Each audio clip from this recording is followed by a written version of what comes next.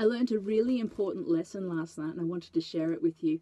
I was driving home, it was very late, I was a little bit tired, and I had been rustling through the glove box looking for something else and I found a bag of red frogs. Now, it's been about a year since I bought a bag of red frogs when I have been fueling up, and so these have been sitting in the glove box for at least 12 months. But they're red frogs, right? They're a superfood. They're like kale or chia seeds. They don't go off. So I thought they'll be fine. This is the bag of red frogs. Folks, they are not fine. Okay, red frogs do not last forever in your glove box. I got these out. One, I can't seem to get them apart. They are stuck. And if you try and chew one, your teeth are stuck together. You are completely buggered. So, red frogs, not the superfood that I had thought they were. They do keep you awake if you're looking for long drive supplementation. Not going to save you though.